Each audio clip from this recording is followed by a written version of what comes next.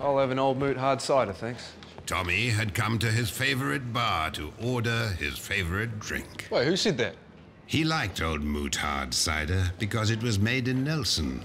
Uh, um, no, I just like the taste. The dry taste of Braeburn apples, yeah, sure. ripened by the sun, What else are they going to be ripened by, right? perfectly crisp, Nobody cares. picked by hand, Seriously, can you stop? crafted into a cider that's not too sweet. Mate, shut up. Yelled Tommy. All he wanted was some peace and quiet. Yeah.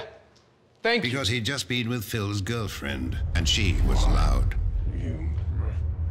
During their workout session at the gym, Sure, I'm a, I'm a, I'm a trainer. after which they totally did it.